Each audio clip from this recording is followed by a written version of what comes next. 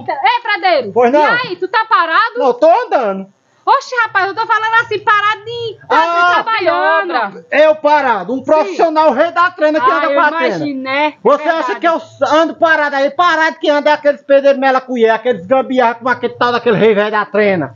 É verdade. Minha filha, eu não falto serviço. Eu já levantei mais de 80 prédios em São Paulo. Eu sou profissional. Eu quero o serviço de vocês Oxe, mesmo. nós queremos que você levante um quartinho ali. Ah, não dá não. Por quê? Eu não sou guindaste. Oxe, rapaz, olha. É bom. Você quer que eu levante? ignorante. Entenda da Não. forma que nós Você estamos quer que eu falando. construa? Ah, é. Então, porque levantar é pegar e levantar pra Ah, cima. pois muito bem, porque pra um bom entendedor, meia palavra basta, Pois né? pronto, Não, quer você não entende O nada. que, que as madames quer?